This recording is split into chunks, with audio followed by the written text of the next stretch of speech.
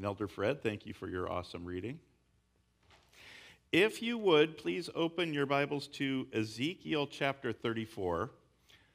But there's two other places in the Bible we're going to go to that are Matthew 5 and Matthew 25. So if you want to bookmark any of those, feel free to do that.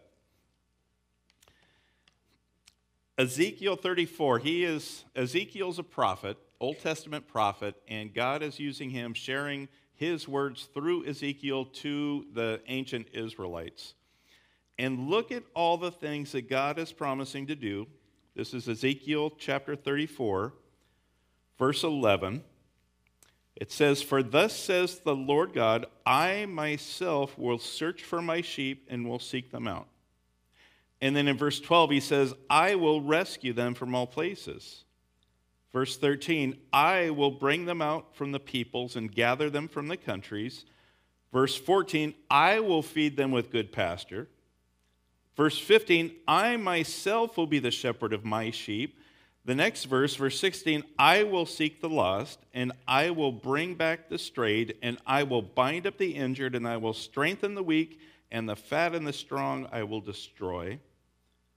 Verse 20, God says, I myself will judge between the fat sheep and the lean sheep. Verse 22, I will rescue my flock, they shall no longer be a prey, and I will judge between sheep and sheep. And in verse 24, he says, I, the Lord, will be their God. I am the Lord. I have spoken.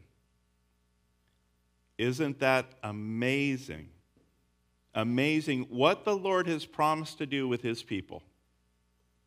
Wouldn't it be foolish to get in his way or to reject what he is offering to us? I mean, I mean, seriously all these things the Lord has promised to do and has done and will do, wouldn't it be silly if we got in his way or said, no, we want to do it our own way? The Lord promises to seek us out, to rescue us, to feed us, to shepherd, to, to shepherd us, to separate us, to save us. He wants to separate us, his people, from the people that don't want anything to do with them. Ezekiel uses the fat sheep versus the lean sheep or weak sheep. Jesus uses the sheep and the goats.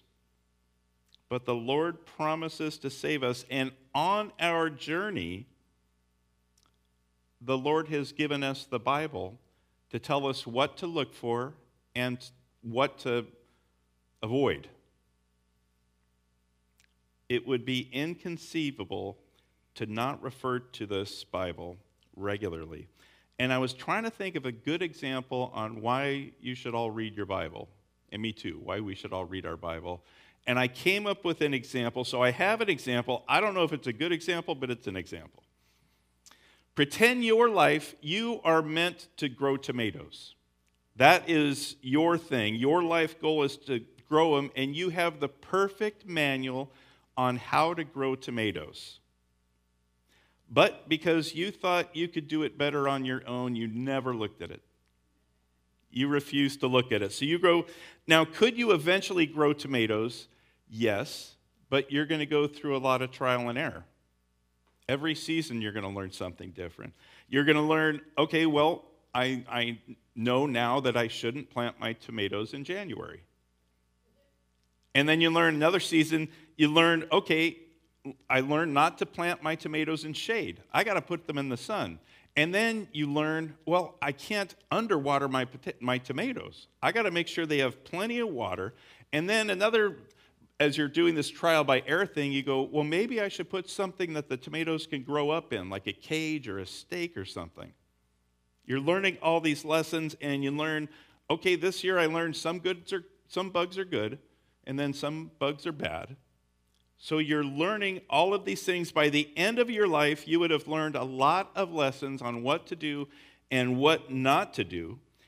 If you would have taken time to have read your excellent tomato manual, you would have avoided a lot, you would have avoided a lot of bumps and bruises and injuries. You would have learned these same lessons early on.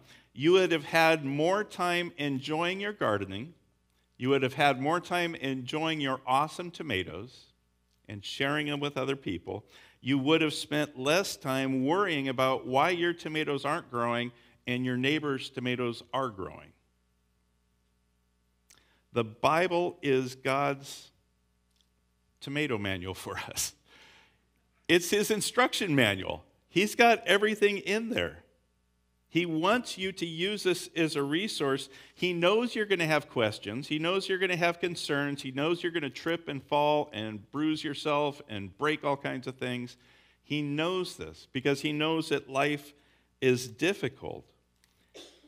He doesn't want you to try to figure out this life by trial and error. So we're going to we're going to jump to Matthew 5 because some of the things God wants you to learn in this instruction manual they come they they're in the beatitudes. The beatitudes means the blessings. But unlike the tomatoes, you cannot learn these things by trial and error. These beatitudes, these blessings are taught specifically from Jesus. So in Matthew 5 verse 3, I'm going to read these. If you don't have your Bible open, just listen the, the scriptures were originally spoken. People would just sit and hear. So Jesus says, Blessed are the poor in spirit, for theirs is the kingdom of heaven. Blessed are those who mourn, for they shall be comforted. Blessed are the meek, for they shall inherit the earth. Blessed are those who hunger and thirst for righteousness, for they will be satisfied. Blessed are the merciful, for they shall receive mercy. Blessed are the pure in heart, for they shall see God. Blessed are the peacemakers, for they shall be children of God.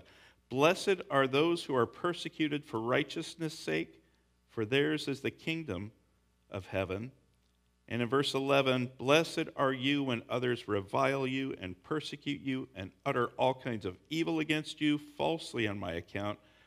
Rejoice and be glad, for your reward is great in heaven, for so they persecuted the prophets who were before you. These are promises from God. These are blessings from God that you're not going to learn by trial and error because these are opposite of what the world wants you to act. The world doesn't want you to be weak, doesn't want you to show any weakness, wants you to be strong. Well, that can last for a little while, but not forever. God wants you to live differently than the way the world suggests and promotes and markets to you. This is why he gave us the Holy Scriptures to refer to. So we're going to go, we're going to jump to Matthew 25. Matthew 25, verse 31 to 46. And these are, these are tough verses, just like Fred had mentioned. So we're going from Matthew 5, these blessings. We're going to jump to Matthew 25, verse 31. We're not going to go verse by verse, but just so you can have it open. This is the second coming of Christ. This is when Jesus Christ returns in all of his glory at the end of the world. And when he comes, he is going to separate those who believe in him, the sheep, from those who reject him, the goats and I purposely didn't aim at the different rows in here. Because every time I preach on this, the goats and the sheep, I always do this, and I'm not singling anybody out. I think you're all sheep. That's good. That's good if your pastor thinks you're a sheep. But according to verse 46, the goats will go away into eternal punishment, but the sheep, the righteous, will go to eternal life. And this word eternal, it's the same word in Greek. We cannot, we cannot sugarcoat this. It's exactly what it says goats, eternal punishment, sheep, eternal life. The important question is how do we come righteous? Because verse 46 says the sheep, the righteous, will go into eternal life. What is this righteousness?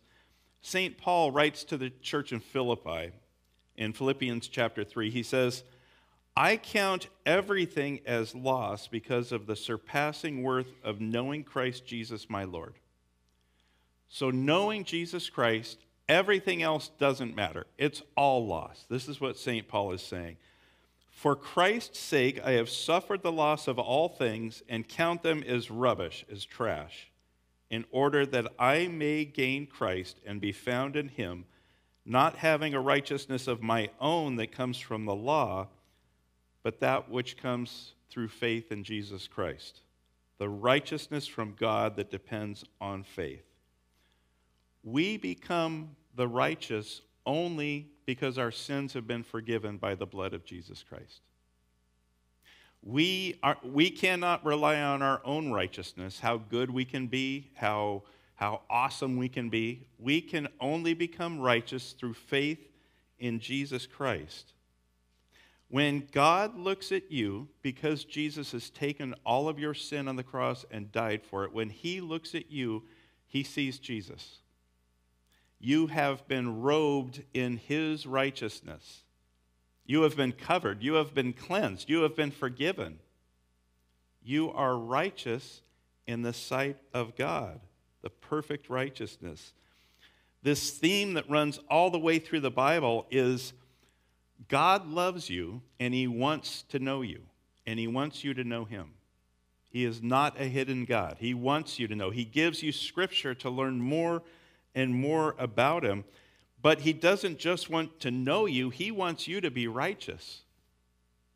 And so, out of his mercy, he has made you righteous because of Christ.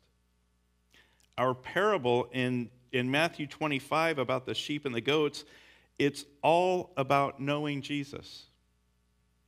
It's all about knowing God's Son who came to earth for you.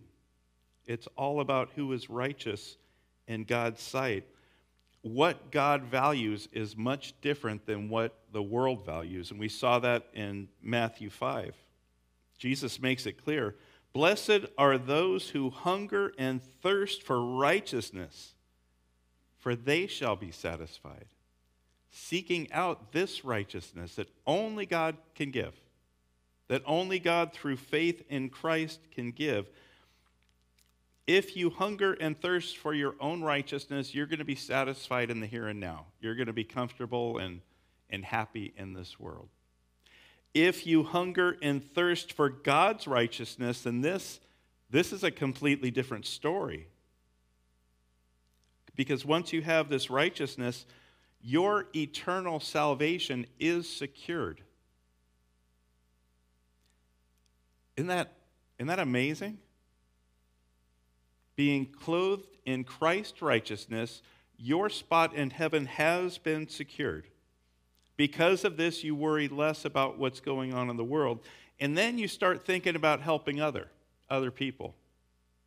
The sheep in the parable, they didn't even realize who they were helping. Lord, when did we feed you and clothe you and help you and bind you and, and do all these things? When did we welcome you and visit you? Jesus' disciples, they do these things because that's what Jesus' disciples do. They don't keep track of how many people they're helping because they help people all the time. It would be silly to tally every single person because they're living a life of helping people because that's what Christ's people do. Matthew 5, verse 6 Blessed are those who hunger and thirst for righteousness for they shall be satisfied. Matthew 25, verse 46 The cursed will go away into eternal punishment, but the righteous into eternal life. This is the last Sunday of the church year, the liturgical church year, and it's fitting to take a step back and to look at the bigger picture of God's plan. So we have Christ's first coming he comes to earth as a little baby in a manger in Bethlehem. He fulfills many of the prophecies throughout the Old Testament in his birth, in his life, in his ministry, in his death and resurrection. That was his first coming. The second coming, Christ is going to, to return and fulfill all the remaining prophecies in Scripture. In the first coming, Jesus was the suffering servant in his second coming, he is going to come as the triumphant king. In the first coming, Jesus arrived in the most humble of circumstances. in the second coming, he will be coming with all the armies in heaven. When Christ returns, if at that time you refuse to acknowledge him as Lord, that's your decision. At that time, when you see him coming, it will be too late to say, Lord, I believe in you now. At that time, the door to the party is going to be shut to you.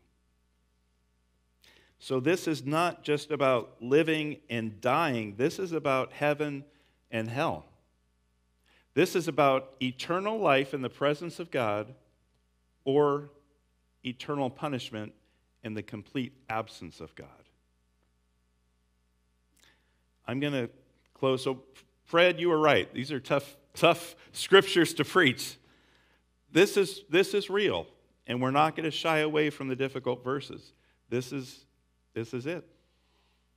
There's the goats and the sheep, and there's heaven, and there's hell, there's everlasting life, and these eternal punishment. I'm going to close with one more verse. This is from St. Paul. He makes it absolutely clear what we must do to be saved. And this, this goes for all of your relatives and your friends and your neighbors and your coworkers that you don't think know Christ. This is what they need to know. This is from Romans chapter 10, verse 9. St. Paul writes it very simply. If you confess with your mouth that Jesus is Lord and believe in your heart that God raised him from the dead, you will be saved. Isn't that simple? That's a simple enough message that we can take anywhere. So we read the Bible, we come to church, we pray, we help others. We do these things to keep our eyes fixed on Jesus. And to keep, we have this manual to keep our eyes fixed on Jesus. No one knows when he is going to return. He could be here before the end of our service, which, come, Lord Jesus, come. he may be here in another hundred years. We don't know. Until that time, we are called to be ready and to stay ready. Scripture will help us to be ready and to stay ready. Now that you know, go tell somebody else. Tell someone else that doesn't know Jesus yet so they can be ready too. Amen.